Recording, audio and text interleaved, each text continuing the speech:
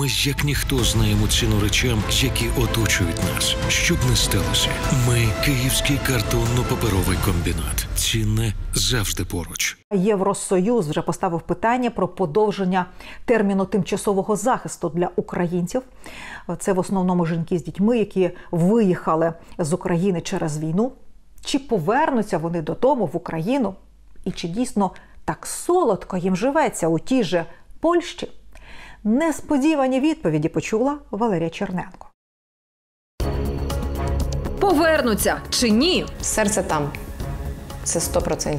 Гострі суперечки щодо українських переселенців. Тобто вони народять дітей в Україні. Тобто населення буде скорочуватись і скорочуватись. Яку роботу вони познаходили у Європі? І чи готові залишитись там назавжди? Тут їм приходиться переступати через себе. Чи таке солодке життя у ЄС? І хто повернеться назад піднімати Україну? Свій робочий день вона починає о 6 ранку. Вікторія Козак працює продавчиною у польському магазині продуктів.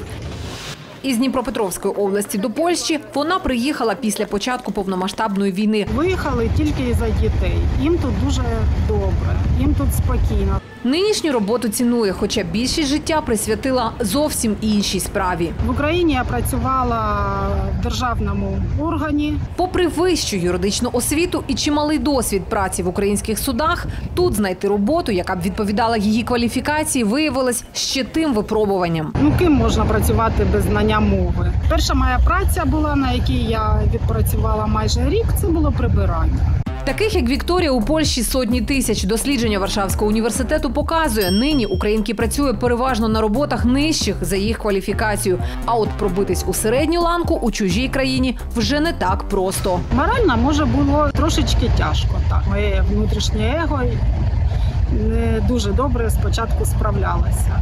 Вікторія одна з шести мільйонів українських біженців, які набули статусу тимчасово захищених осіб у Європі. Це офіційні дані ООН, які дуже лякають вітчизняних демографів. Точніше, те, чи повернуться наші люди назад і коли. Причин для занепокоєнь кілька. Людей, які зараз знаходяться в Європі, в країнах ЄС, дві третини це жінки.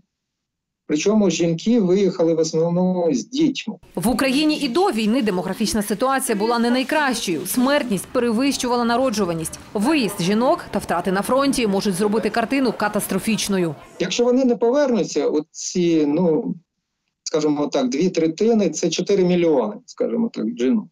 Тобто вони народять дітей в Україні. Тобто населення буде скорочуватись і скорочуватись. Інша важлива складова відбудова України. Наразі українці стали головним рушієм польської економіки, і роботодавці Польщі зацікавлені їх тримати. Але ж робочі руки вкрай потрібні і для відновлення економіки України. Але чи дійсно ті, хто виїхав за кордон, думають там лишитись? Давайте дослідимо. Перший аспект розділені сім'ї. Серед тих десятків тисяч, напевно, історій, які я чула, читала і чула від дівчат, які сюди приходять, ем, то більшість з них все одно повертається або до чоловіків, або чекає того, щоб чоловік приїхав. Дар'я розуміє ситуацію не з чуток. Культурна діячка, яка координує проекти допомоги українцям у польському Гданську, сама приїхала сюди вже після початку повномасштабної війни разом із 15-річним сином.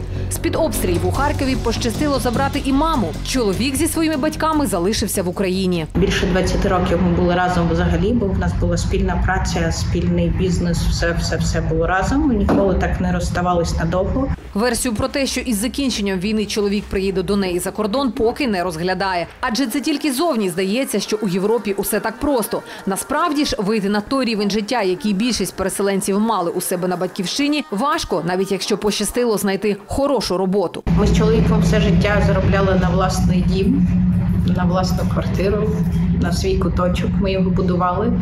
А зараз фактично ти живеш на зйомній квартирі, мало того, що ти віддаєш все зар- всю зарплату і на то все працюєш. Всі разом з мамою, дитина якби трошечки не має свого простору. Житло головна проблема і біль усіх переселенців. Ціни на оренду навіть однокімнатної квартири дуже високі. Тому жінки часто об'єднуються і знімають одне житло на двох. Для оренди квартири в Європі потрібно мати офіційний контракт на роботу. Хоча іноді і його замало запевняє Тетяна, переселенка з Києва, яка нині мешкає у Варшаві. Офіційно знайти житло дуже тяжко.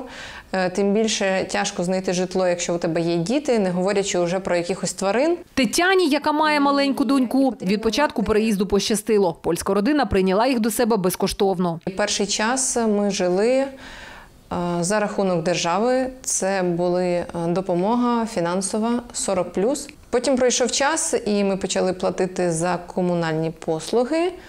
Ось і зараз уже ось нам ми платимо повністю за оренду. Це достатньо великі кошти, і це тяжко. Жінка була впевнена, що зі своєю професією легко знайде роботу всюди. Я тату-майстер, мала достатній стаж роботи і була впевнена, що е, приїхавши у велике місто, у столицю, е, я не буду мати складнощів із пошуком роботи. Виявилося, що у салоні хочуть брати лише тих майстрів, які вже мають ім'я у цій країні та свою напрацьовану базу клієнтів. Тож Тетяні довелося пригадати свій юнацький талант малювання. Жінка пише картини і намагається їх продавати. Переселенка із Київської області Світлана із двома доньками від війни поїхали ще далі на захід у Німеччину. Каже, тут ситуація краща ніж у Польщі, бо українським біженцям держава все ще надає і соціальне житло, і навіть грошову допомогу. Щоправда, на неї особливо не розгуляєшся. Речі, які були очевидними і доступними у своїй країні, в еміграції раптово стали недосяжними. Для прикладу, да, е, я хотіла на мастер-клас відвести своїх дівчаток. Ліплення з глини, певні якісь чашечки, глечики, ще щось. У дітей мені потрібно заплатити 120 євро за одне заняття. Ну це не дуже дешево. Офіційно йти на роботу у Німеччині вони не можуть, поки не прийдуть кількарічні мовні курси і не здадуть іспит на базовий рівень знання мови. Тому у Світлани своя мотивація повертатись в Україну. Для себе підібрала декілька інструментів для свого бізнесу, для клінінгу. Сподобалися деякі речі, деякий інвентар, такий професійний, який планую внідрити в Україні. І ось якраз цей досвід з Німеччини мені дуже знадобиться. Ті, хто втратив все, змушені починати з нуля, і вони не проти робити це в Європі, бо не мають впевненості, що отримують в Україні достатню фінансову підтримку на власне відновлення. Але таких очевидна меншість. Добре там, де нас немає. Народна мудрість справедлива, як завжди. Багато міфів про легке і комфортне життя у Європі розбились у суворі реалії. Європейці надали такий важливий для українців захист, ключове слово у якому тимчасовий. Тому більшість переселенців, з якими ми спілкувались, налаштовані повертатись. Найперше, коли буде безпечно. Із Польщі Валерія Черненко, факти тижня, ICTV, Єдині новини.